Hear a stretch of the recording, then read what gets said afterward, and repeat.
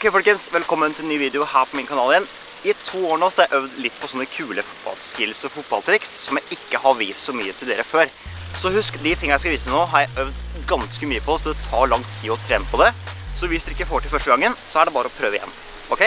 Da setter vi i gang. Det første jeg skal vise er å skru ballen fra cornerflagget og inn i mål.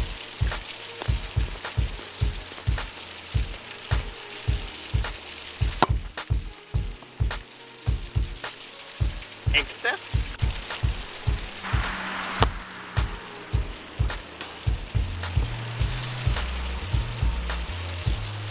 Den satt. Stang oss inn. Uansett hvor nærme, så kan jeg skåre.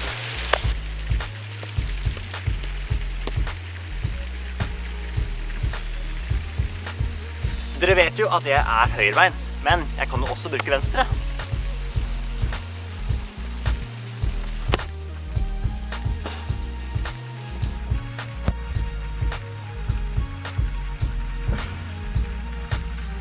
Er noen som mener at å skåre fra bak linja er helt umulig.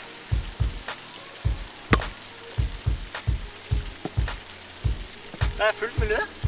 Men det er umulig å gjøre det en kamp. Men på trening så er det kjempekult. Jeg prøver en gang til, jeg.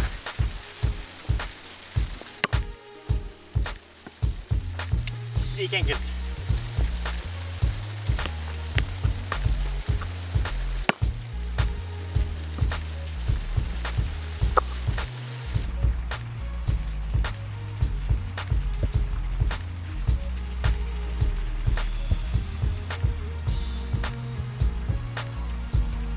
Det er mange som lurer på er det mulig å skåre fra bak mål. Skal vi finne ut.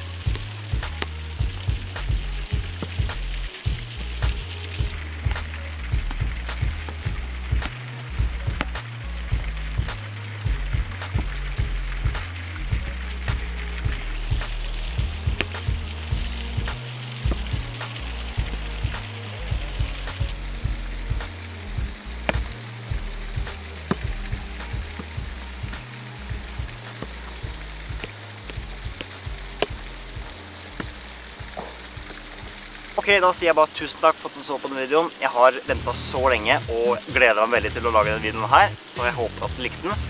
Gjerne lik, kommenter, abonner, husk at giveawayen er tilgjengelig nå. Og så, ja, ses i neste video. Snakkes.